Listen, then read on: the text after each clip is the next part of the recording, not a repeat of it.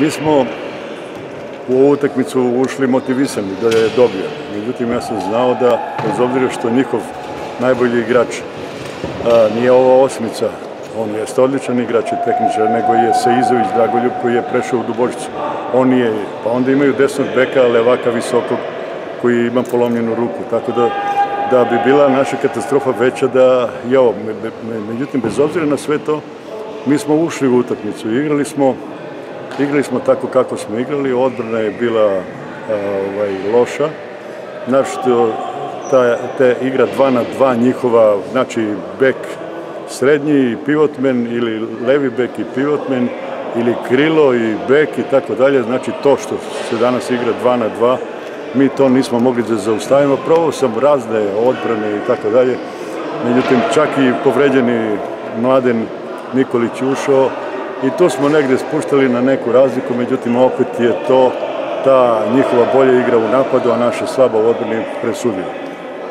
Ja ne mogu da budem ni zadovoljan ni nezadovoljan.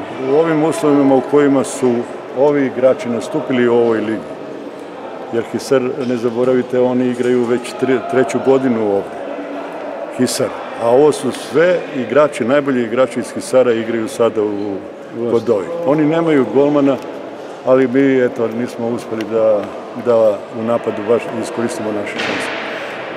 Gde, gde su neka rešenja za, za, za dalje? Pa rešenja su u tome da, da ono što sam i prošle puta rekao, mi moramo da imamo trenera koji radi od ujutru do uveče sa svim selekcijama i moramo da ne budemo ovaj, počinjeni u odnosu na ostale sportove, a to znači na sportove koji ovde u ovoj dvorani gde mi možemo jedino da treniramo i da igramo, da mi imamo mesta, a ne da imamo mesta tamo negde posle pola 11, posle 10 sati. Tako. Tu, je, tu je problem, znači, ako, se to, ako to uradimo, uz dovođenje normalno jedno, dva, tri igrača, mi možemo da ostanemo u ovoj ligi.